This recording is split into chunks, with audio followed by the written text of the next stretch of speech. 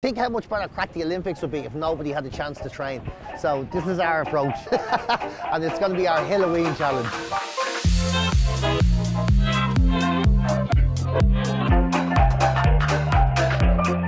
So last year we did this challenge, except I was on a penny farthing bike on my own, and it was from Howth Hill to Hill 16. So this year we're going to sort of take in the south side and go from Hill 16, where we finished last year, to Bray Hill, uh, but we're doing it in tandem. He seized on an opportunity basically to embarrass me in Lycra on a bike. This is revenge for the stick I gave him last year, to be honest.